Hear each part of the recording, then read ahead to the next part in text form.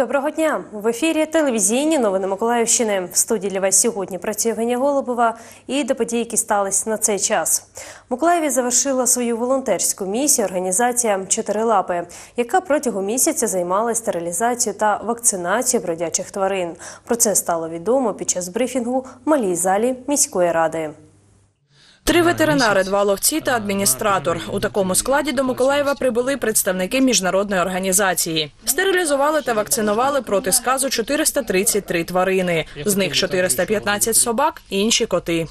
Мы их отлавливали на улицах. Ми їх відловлювали на вулицях міста разом з зоозахисною організацією, яка нам допомагала. Це Фенікс, також з волонтерами та просто жителями міста, які дзвонили просили допомоги, тому що хвилювалися, що їх тварин не повернуть на вулиці. Я вважаю, що це був вдалий проект, і дякую всім, хто долучився, хто допомагав і хто вірив, а не тим людям, які розводили бруд в інтернеті. А на проспекті Центральному прорив труби тече вода. Аварійна служба приїхала майже за дві години після прориву.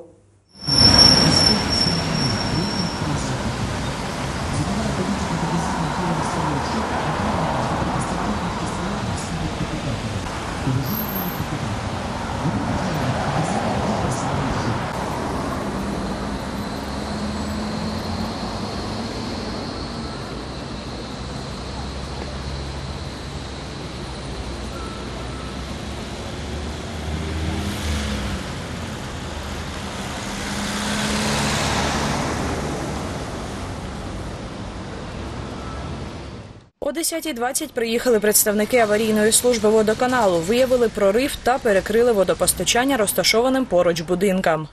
Тут проходят коммуникации, кабеля проходят, телефоны и газ может проходить. Но мы перекрыли, оно сейчас течет, все кончится, а мы едем дальше точку обследовать. У Миколаїв водоканалі пояснили, стався витік діаметром 150 мм. Чекають землерийну техніку.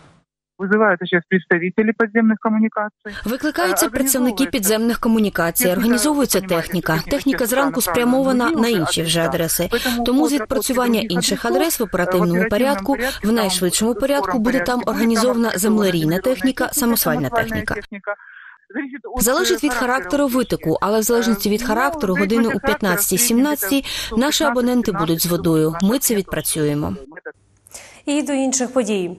В Миколаївському центральному районному суді обрали запобіжні заходи сімейним парам, яких підозрюють у торгівлі наркотиками. Суддя Світлана Гречана особам підозрюваним в організації незаконного збуту наркотиків обрала запобіжний захід у вигляді тримання під вартою з можливістю внесення застави в розмірі 264 тисячі гривень. Відносно іншої підозрюваної застосовано запобіжний захід у вигляді цілодобового домашнього арешту. Її чоловікові, який входив до складу зазначеної групи, обрано запобіжний захід у вигляді тримання під вартою з можливістю внесення застави в сумі 500 тисяч гривень.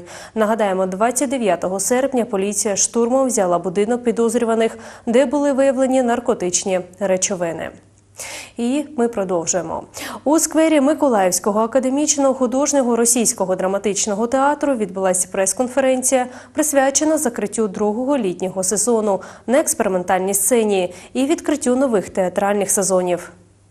Директор театру Артем Свистун підсумував літній сезон. Закрытие летнего театрального сезона. Закриття літнього театрального сезону. Другий літній театральний сезон, експериментальний майданчик, літній театральний дворик. Колектив встиг і сходити у відпустку, відпочити, і тим не менш жодного дня не проходило без творчих зустрічей, концертів, прем'єр, вистав, які проходили у нашому літньому театральному дворику. У наступному сезоні працю колективу Миколаївського академічного художнього російського драматичного театру зможуть оцінити не тільки жителі Миколаєва. Я хочу сакцентировать внимание. І я хочу закцентувати увагу, чим же відрізняється цей сезон від інших. Про те, що ми обласний театр, заклад, комунальний заклад обласний. І ми позиціонуємо себе не тільки як на базі проведення вистав, гастролів, а й по Миколаївській області і за межі Миколаївської області.